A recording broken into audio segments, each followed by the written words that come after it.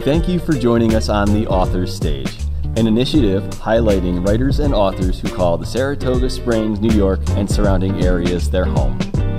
The Authors Stage is a community collaboration between Universal Preservation Hall, a member of Proctors Collaborative, and the Saratoga Springs Public Library.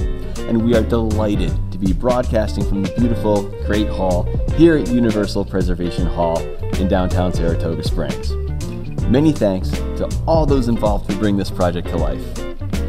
I'm Trevor Oakley from the Saratoga Springs Public Library, and today I am excited to be talking to a self described hopeful nihilist, misanthropic humanitarian, and bitter Buddhist, author of Storms of Summer, Scotch Sympathy, and another upcoming collection of poetry titled The Futility of Words.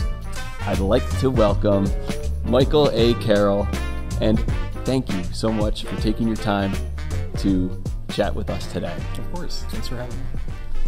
Well, jumping right in, where does the inspiration for your work, where did the inspiration for this particular book? I know uh, I'm focusing on Storms of Summer. That's all right. Um, so, where does the inspiration for your work come from generally? Uh, generally, the inspiration comes from just life in general. Yeah. Um, I, I, tend to use poetry as like a form of uh, uh, therapy.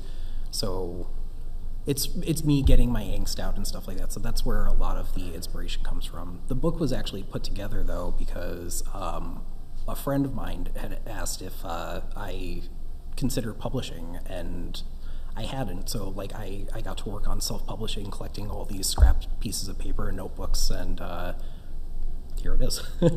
it's funny. I, you said the poetry. It's kind of it's, it's therapeutic, and so it's therapeutic for you as an author.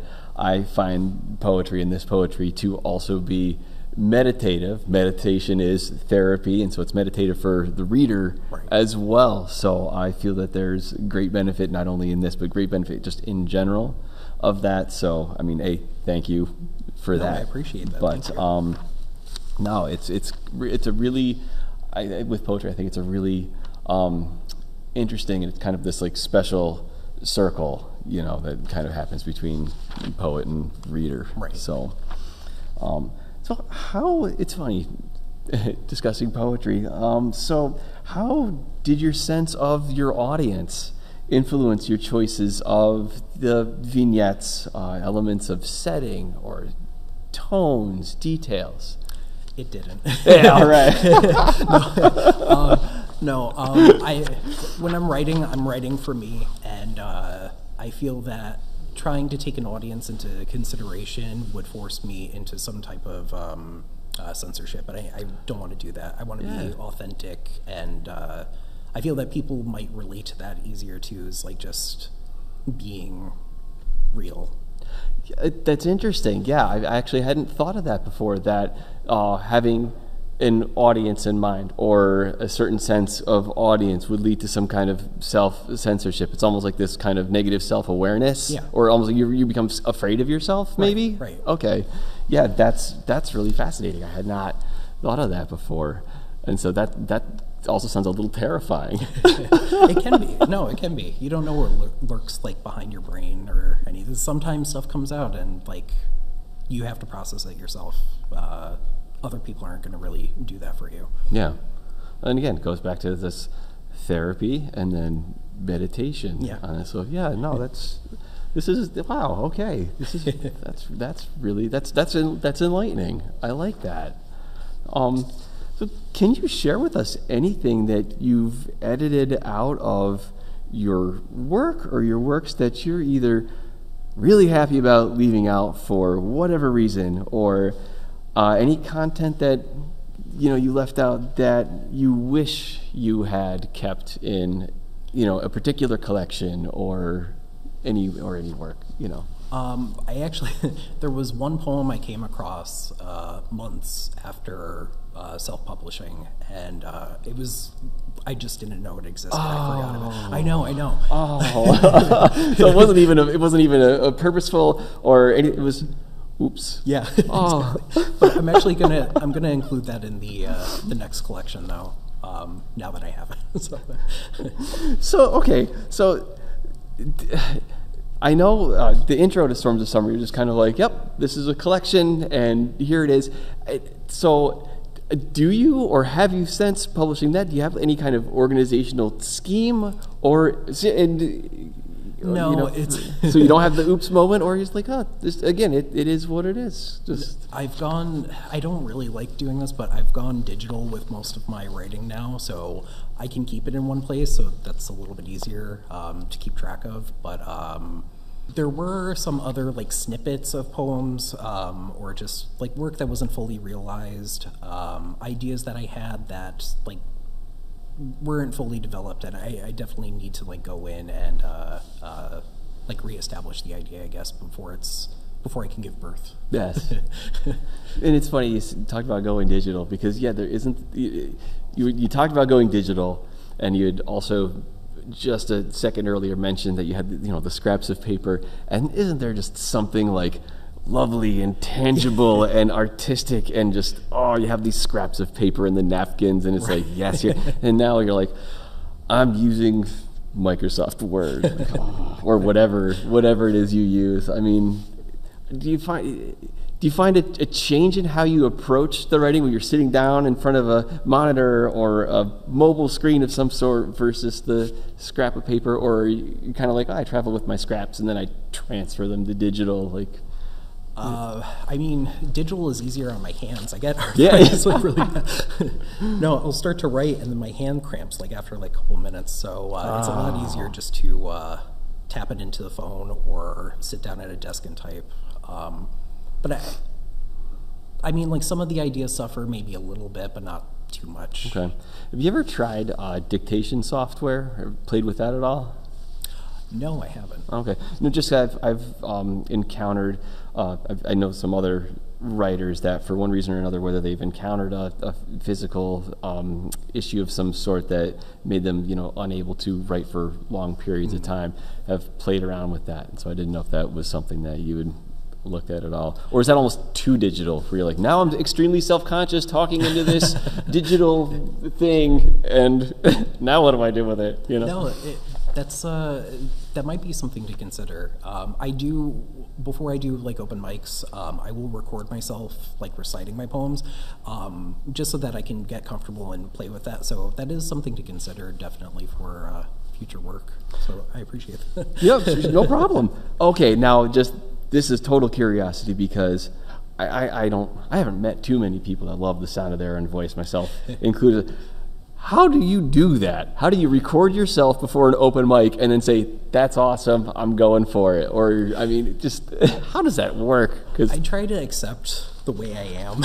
Awesome. because no, like uh, that's something everybody goes through, and I'm realizing that everybody goes through it. So I'm no different. So I have to just come to that realization that like I'm not gonna like my voice no matter what.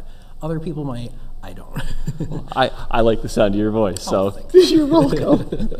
no, no, yeah, I, I love that sentiment, and I think that's something important that, um, yeah, if we could stop and think this thing where I'm not the necessarily, I'm not necessarily the first person who has gone through this. Other people have done this, and they have had a level of success. I can do this too. right. I love that. Thank so no, thank you. That's a that's a great great point. Yep. I am I'm I'm myself too. I'm another person. So Right.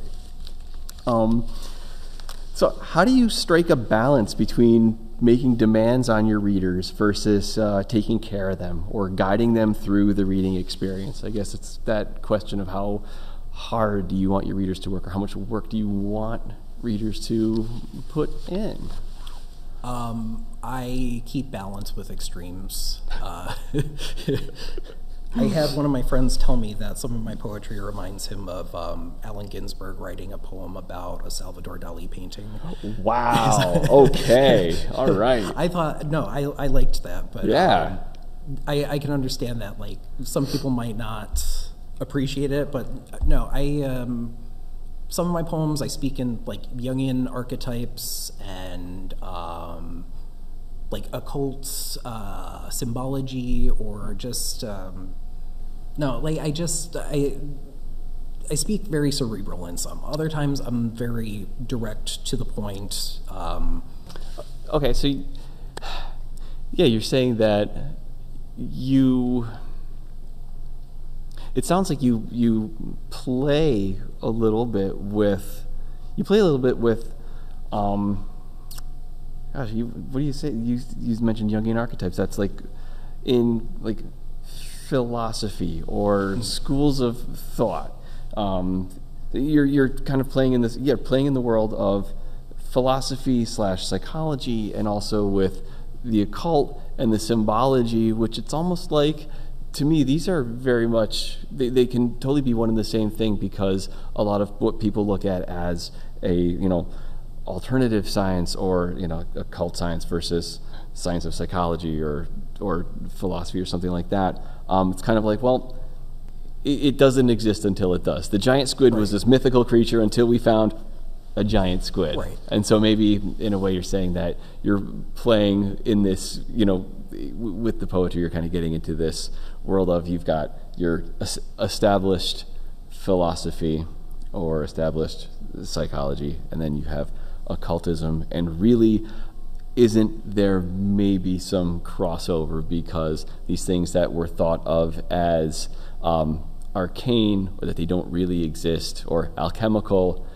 well when we learned how to do it it became quote real. Right. okay. Right, exactly. all right. I don't know if we how we can turn that into something that they can use here but all right. That's we we went around the bend but we got there. Thank you Oh, I got to say alchemical. All right, that was cool. okay. Um, can you share with us any details about something you're working on right now, even if it's another creative pursuit that isn't necessarily literary?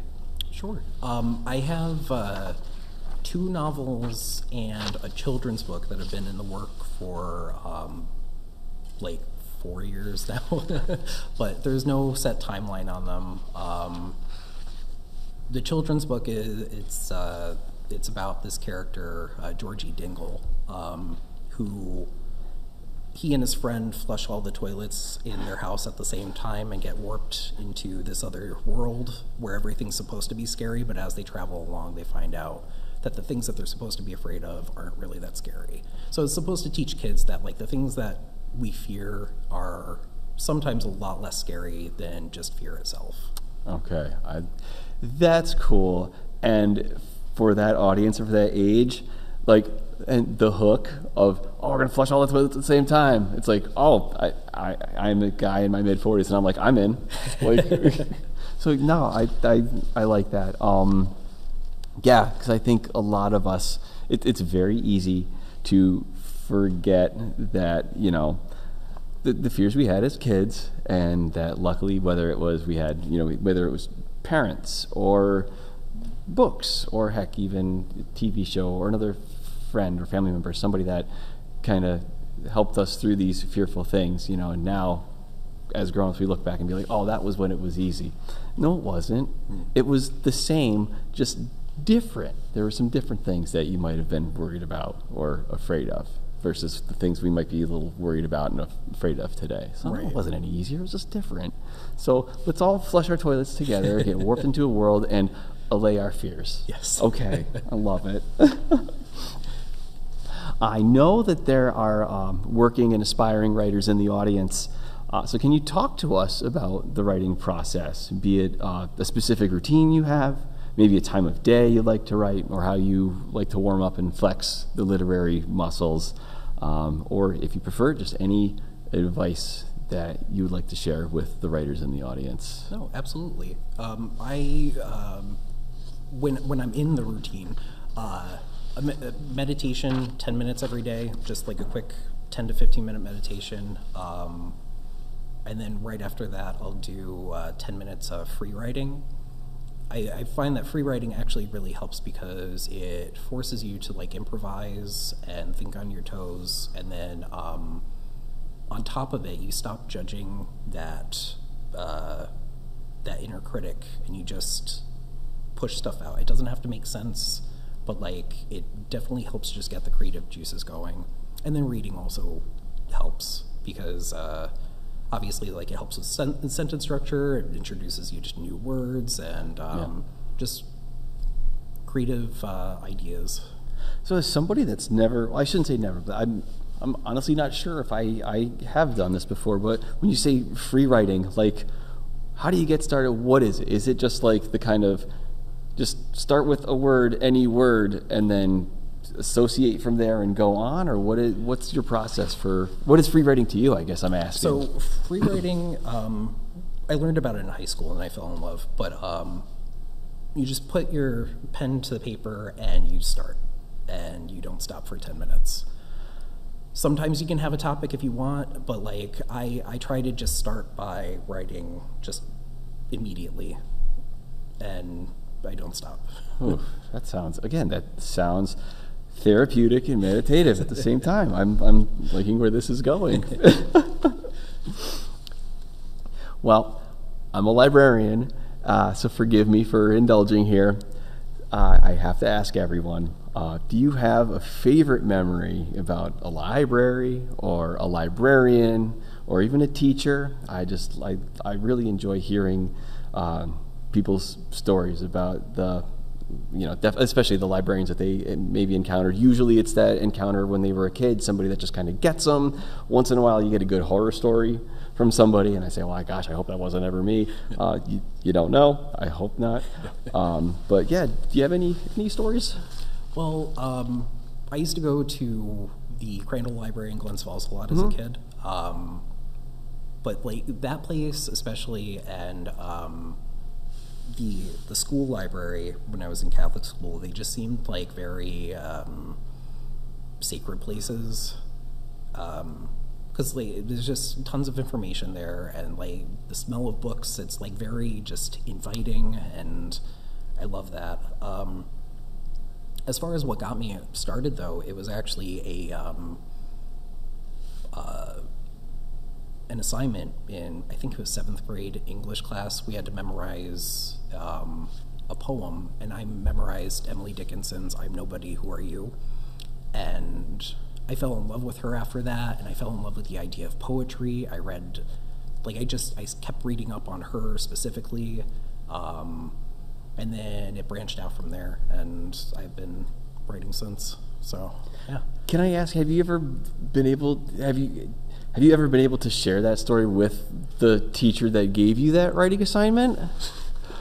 No because that, that same teacher also called my parents in once because on the topic of writing um, she gave us a list of uh, vocab words for the week and i was like oh i'll use these to write a poem. And i wrote a poem but it was about like the underworld. That was the title of it. And um, she apparently thought that I was obsessed with the occult and uh, the devil and stuff like that. So she called my parents, and so like that equally. I- It's it's Ah, this weird. okay Yeah. You, you did say Catholic school, right? Yes, yes. Okay, all right. Yeah, no, because I'm sitting there going like, oh, I totally wrote all that stuff when I was in school, and it was like, oh yeah, you're another, you know, '90s kid in in high school writing stuff about the occult and Crowley. All right, yeah. so okay, I get it now. So that's interesting. I'm glad I asked. Uh, do you ever Google yourself or check mentions on social media or read online reviews? Uh, if so, do you have any favorite or memorable, for whatever reason, results that you've unearthed? Um, I, I don't really Google myself. I have um, a few social media platforms that I utilize. Uh, YouTube is one of them. I record my open mic nights and I'll post those. But um, I don't really get a lot of uh, feedback on it. I will get feedback at the open mic nights Yeah. though, and that that means a lot to me. If somebody comes up to me afterwards and is like, "Hey, I really enjoyed that," it it, it touches me. Yeah. So, yeah. Gotcha. And here's the fun one. I at least I like to think it is. Um, if you could describe or define yourself in just one word, what would it be? I would have to say manic because I mean I'm writing about life and life is all over the place. So that's uh yeah, manic. Again, I like that because there, there's a lot in that. Manic, life is a lot. It's all over the place. I'm like, yeah, that's using an economy of words, that's a whole lot all at one time. so, speaking of words, um, would you care to do a reading Absolutely. for us? Yeah. All right. Well, Michael, thank you, and the author stage is yours, my friend. Thank you. This is called uh, 9 to 5. I awake from my sleep's commotions, then grab the pills that bottle my emotions. Every day I'm Charlie Brown bagging, eyes so heavy that my ass is dragging. Sunlight hits me, now I'm Nosferatu, but I keep going, though I don't want to. Instead, I French press my storm clouds and prepare. War paint the game face under the mask I wear. Pageant smiles with waves like a tsunami. Business casual corporate origami. Fold me, fake me, and file me away, from box to box, from cubicle to the grave. The red, white, and blue collar rat race is all uphill when you're a slave to the American dream, slave to the dollar bill.